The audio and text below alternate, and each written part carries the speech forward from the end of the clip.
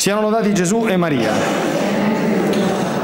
Oggi la Chiesa, fratelli e sorelle carissimi, celebra la solennità della Pentecoste e con questo giorno, appunto il giorno di Pentecoste, il cui evento ci è presentato dall'odierna liturgia nella prima lettura che abbiamo ascoltato, proprio l'evento storico di quando si è compiuta la Pentecoste, si compie definitivamente il passaggio di testimone di cui abbiamo già parlato la scorsa settimana dalla missione terrena di Cristo a quella della sua Chiesa, che altro non è la missione della Chiesa e non deve essere altro che il prolungamento storico di quella del suo capo, maestro e signore. La Chiesa continua a fare nella storia ciò che Gesù ha fatto durante la sua missione terrena.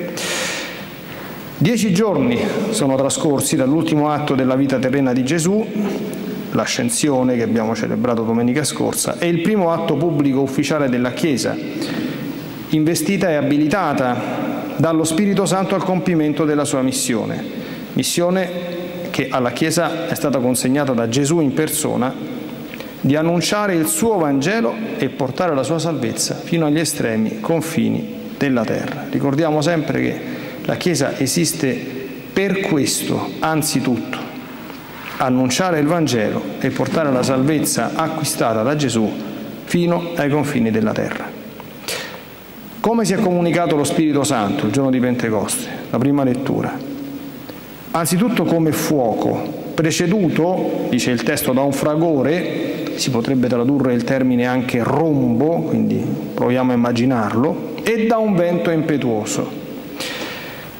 Il fragore rimanda al rombo della voce di Dio che fa rumoreggiare le acque del cielo. C'è un testo del profeta Geremia, capitolo 51, che usa lo stesso identico termine greco usato in questo testo.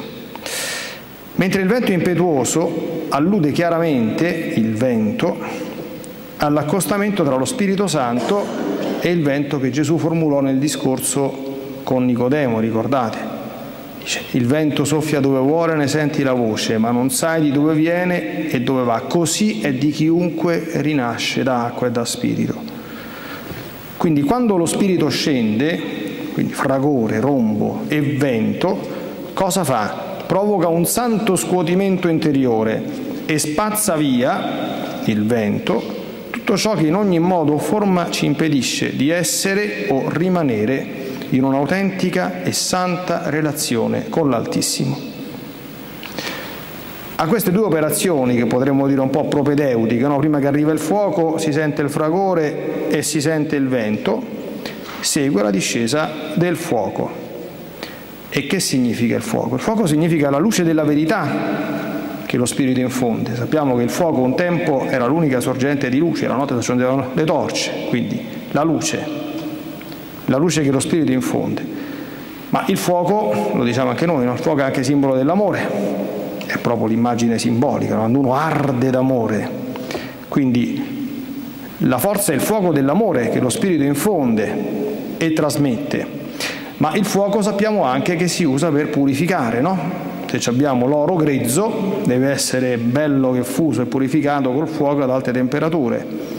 Quindi il fuoco significa l'incessante e la continua opera di purificazione e raffinazione che lo Spirito Santo opera nelle nostre anime.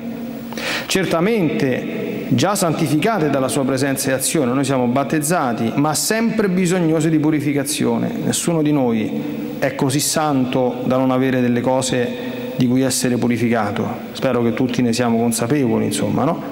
E ciò fino a quando ci troveremo in cammino e non ancora giunti alla patria eterna.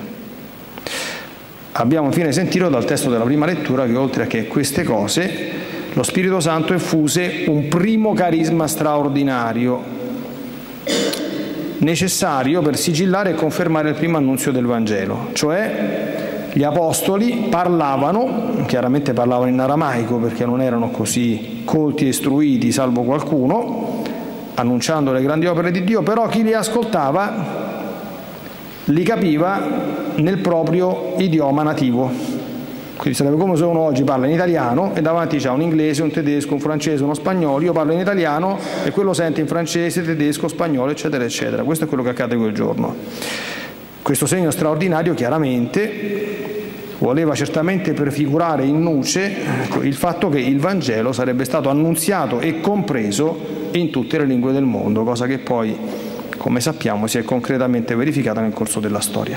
La seconda lettura ci ricorda la molteplice azione santificante ordinaria e anche straordinaria dello Spirito Santo, che si esplica, dice San Paolo, nella pluralità e molteplicità di carismi, ministeri e attività di cui si alimenta la vita della Chiesa. Attenzione che da vivere, da praticarsi sempre nella piena unità e comunione. Attenzione che la unità e la comunione è sempre il sigillo di autenticazione di qualunque carisma, ministero e attività che voglia dirsi ecclesiale, questo anche nelle nostre piccolissime comunità parrocchiali. Io ho sempre cercato di trasmettere da quando sto qui e speriamo anche di testimoniare con la mia azione, però questo spetta al Signore e anche a voi giudicarlo, l'importanza che nelle cose, la cosa più importante che ci sia, al di là di quello che facciamo, è come lo facciamo, che ci sia sempre l'amore e l'unità, che, sia, che sono proprio sigilli della presenza dello Spirito Santo, perché quando queste non ci sono e ci sono contese, liti, discordi dello Spirito Santo non c'è mai. D'accordo? Non c'è neanche se uno stesse facendo la cosa più importante, più santa del mondo. Di questo non dobbiamo mai averne nessun dubbio. Quindi tale unità è espressa dal mistero della Chiesa in quanto corpo mistico di Cristo, ci dice sempre San Paolo. Voi capite che un corpo è una realtà unitaria che dipende dalla testa, ma dove tutto concorre dentro una sostanziale unità. Dentro questa unità la particolarità e la singolarità di ogni organo e membro, in altri testi San Paolo proprio fa un approfondimento di questo, converge però sempre verso l'unità del corpo. La mano è mano, ma la mano fa quello che dico io e concorre al bene del corpo. Quando io la mattina mi lavo, la mano sta facendo la mano, ma concorre alla pulizia della mia faccia o altre cose. Quindi è sempre tutto finalizzato all'unità. Attenzione che molto ci sarebbe da meditare, eh? noi chiaramente non possiamo farlo adesso, su queste parole dell'Apostolo. Quindi unità e molteplicità, unite però, eh, composte insieme.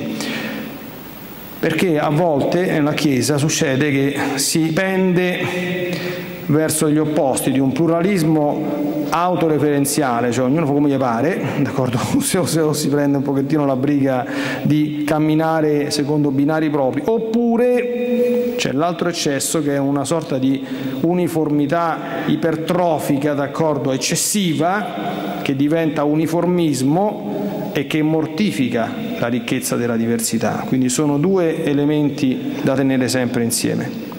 Infine nel Vangelo abbiamo riletto, mm, i più attenti e più, diciamo così, veramente zelanti se ne saranno accorti, ma questo è il Vangelo che la liturgia della Chiesa ci aveva proposto nella domenica in Albis, quindi, ossia quella sorta di prima comunicazione dello Spirito di Gesù risorto, trasmessa agli undici da Gesù in persona la sera stessa di Pasqua, con il potere di rimettere i peccati, che appunto può essere letto questo come il primo atto di questa trasmissione del testimone di cui abbiamo parlato all'inizio di queste riflessioni, che si sarebbe poi compiuta definitivamente il giorno di Pentecoste. Quella sera Gesù, alitando sui dodici, sugli undici meglio, conferì loro l'effetto principale dell'opera della redenzione da lui appena compiuta, cioè la remissione dei peccati e il potere e il dovere degli apostoli di esercitare delle potestà in suo nome. Quando ci andiamo a confessare, se facciamo attenzione alla formula dell'assoluzione, vi ricordate cosa dice il sacerdote, no? Dio Padre di misericordia che ha riconciliato a te il mondo nella morte e risurrezione del suo figlio e ha effuso lo Spirito Santo per la remissione dei peccati. Quindi la remissione dei peccati è l'opera fondamentale dello Spirito Santo attraverso il sacramento del battesimo e della penitenza.